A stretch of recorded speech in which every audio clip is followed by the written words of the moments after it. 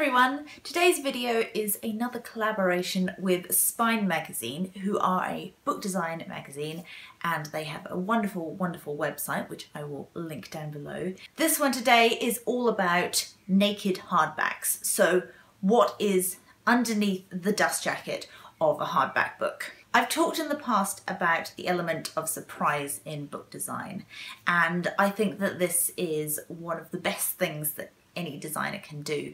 So that's hiding unexpected things within the physical object of the book. One of the ways that I've discussed in the past is using end papers and making the most of that space and really designing something special there. But another way, and I think it's because this is even less expected, is putting something on the hardback of the book.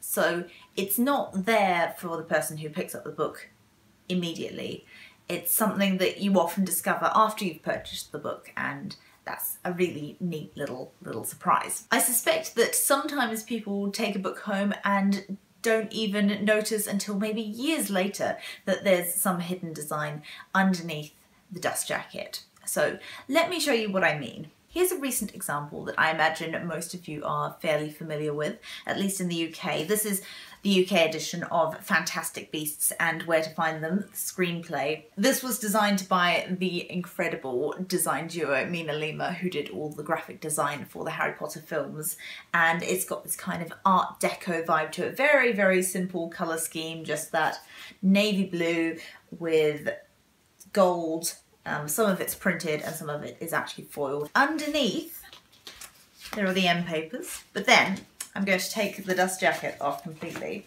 There's a niffler, a tiny little niffler. Um, if you had already noticed this, leave me a comment down below. Uh, or if you haven't seen it before, I'd love to know the ratio of people who have looked underneath and those who haven't. Because I just thought that that was such a delightful surprise. And then the spine is the same as on the dust jacket. Here's another recent example. This is If We Were Villains by M.L. Rio, and this is the American edition. It's not actually out in the UK yet, but it does have a different cover.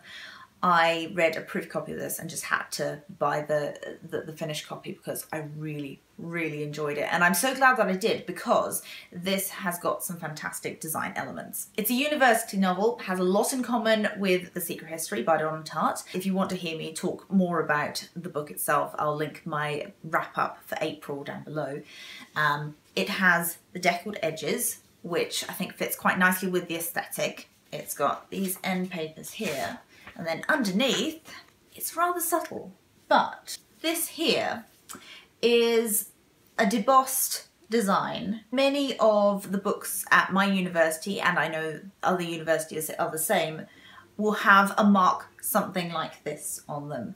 And it's something that's put on by the university to mark it as being theirs. So at my university, most of the books look like this, albeit a bit more battered. This logo is actually the logo of the publishing company Flatiron Books. It's such a clever way of presenting a university novel and the colour as well is quite like something that you would get out of a, a library, an older looking book. I'm super excited to see what they do with the UK one. I really like the cover, it's got that dead sparrow on it. Again, I talk about that a little bit in my April wrap up. And then there's an example that I always come back to in so many different book design videos, but it's because this is perhaps the book that has the most different techniques in it. As you might have guessed, it's the UK edition of The Gracekeepers got the lovely end papers, which I've talked about in the past. Under the dust jacket, we have this beautiful night sky design. It goes right the way around.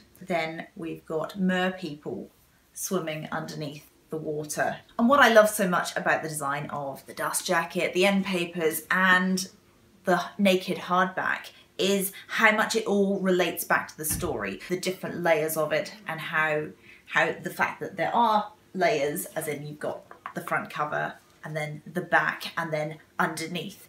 It, it, all sort of fits together. And I won't go into that in, in more detail because spoiler territory. But if you haven't read it, you'll just have to take my word for it. This is very, very clever. The other thing to note is that this is not a cheap way of producing books. The designer would have had to come up with essentially two completely different designs and not to mention all the printing costs. But I think when you see that a publisher has put that much effort into a book, you know that they really believe in it and that it's probably going to be a really good read. And at the end of the day, publishing is a business, so their aim is to make money, and so they don't put the money into books unless they really believe in them. I am a person who will pick up a book and especially if it's a hardback, I will start searching for those hidden design features. And I want to encourage you to do the same. And this is the great thing about shopping at actual bookshops. So if you have a local bookshop, I would highly recommend that you go on a bit of a treasure hunt and see what you can find. Or even just do the same with your own bookshelves.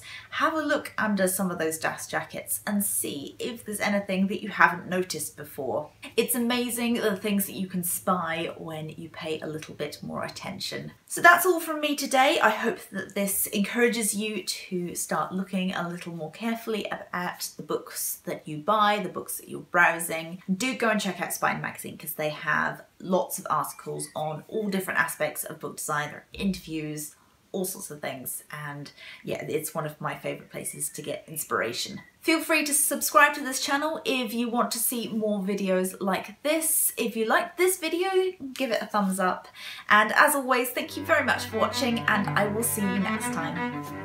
Bye!